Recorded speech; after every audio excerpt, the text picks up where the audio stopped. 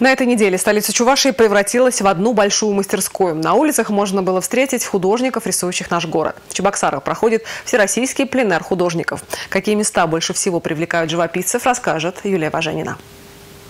Чебоксары – жемчужина на Волге, так называется пленер. На работах всех участников живописные места столицы Чувашии. Здесь и старинные дома, и соборы, ну и, конечно, набережная Волги. Даже дождь не пугает и не мешает художникам. Как вы видите, я устроился так, что я вполне могу даже под дождем работать, но дождь придает особый колорит, особое состояние природы, которое порой многие не замечают, спасаясь от дождя, но мы, художник, хотим запечатлеть красоту даже во время дождя.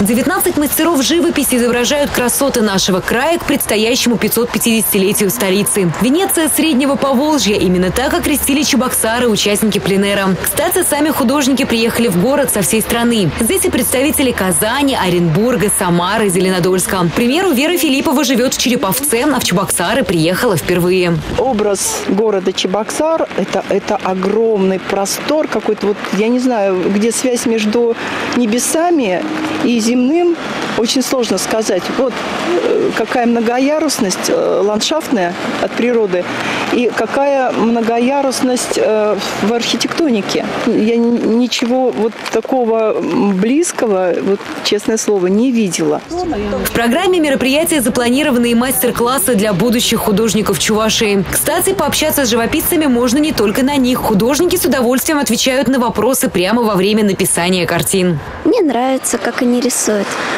потому что они там все блики делают, тени. По крайней мере, лучше, чем я точно.